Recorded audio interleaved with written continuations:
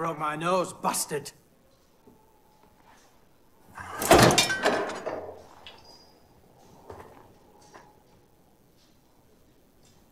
It's an improvement. Threw you over the wall. I wonder how long it'd take you to hit. I wonder if they'd find you before the wolves did.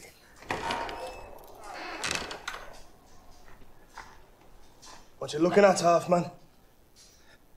I'm looking at you. Yes. You've got an interesting face.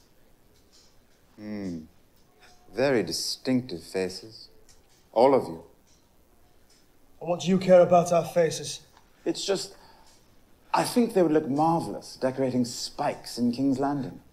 Perhaps I'll write to my sister, the Queen, about it.